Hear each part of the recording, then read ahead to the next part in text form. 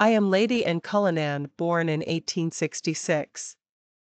My husband Tom Cullinan, that was knighted in 1910, gifted me with the Edwardian style.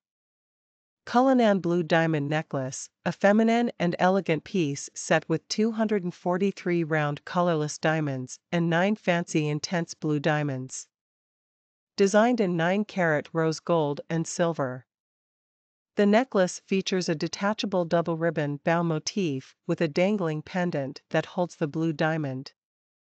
I laid the foundation stone of the Anglican Church in Oak Avenue.